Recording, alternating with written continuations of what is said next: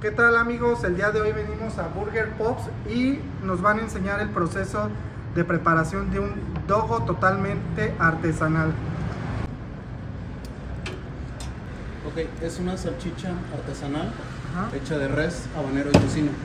Se prepara en un horno estilo Hosper, Ajá. funciona a base de carbón. Normalmente llega a la temperatura de 400 grados Fahrenheit, Ajá. incluso 500. Ok.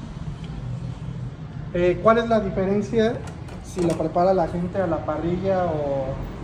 Es un horno que funciona a base de carbón. Ajá. El proceso es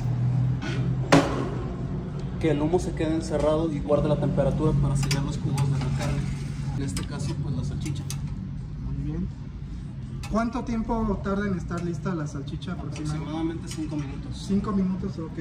¿Qué gramaje trae la salchicha, Prox? Es entre 170 y 200 gramos. Es una salchicha bastante grande. Eh, tal vez aquí en el video no, no alcancen a apreciar el tamaño, pero la verdad, ahorita la vamos a comparar más o menos ahí con mi mano y es un es muy muy grande, es de buen tamaño. La verdad es que yo con una salchicha estoy más que lleno. Bueno, pues vamos a esperar a que esté. Va a meter el pan también a hornear.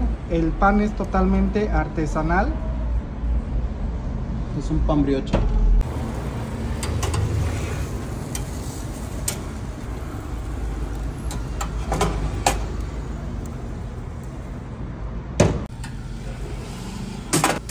Sí, ya está listo.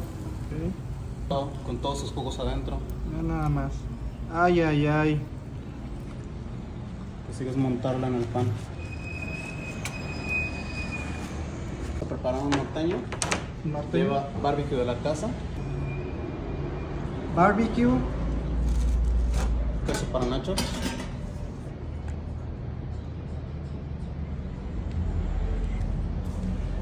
Este dogo es muy diferente al hot dog que normalmente todos conocemos.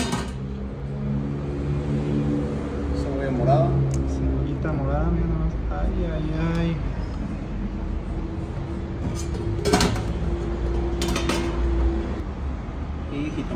Jitomatito.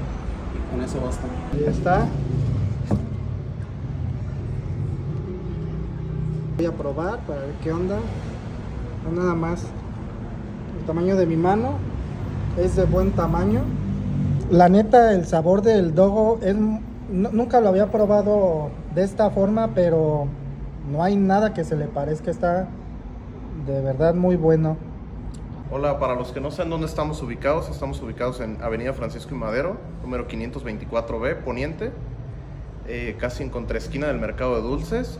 ¿Qué Te a- comes más de tres dogs, bueno, tres dogs o más, tu cuenta es gratis. Totalmente gratis. Así es. Si no te los comes, pues ya tú los pagas, pero Sí, te invitamos a que vengas a probar. La neta es otro show. Los esperamos a que pasen y nos conozcan. Y muchas gracias a toda la gente que le da like y que comparte. Ya saben, hay que hacer barrio aquí en Morelia, aquí y donde tú te encuentres.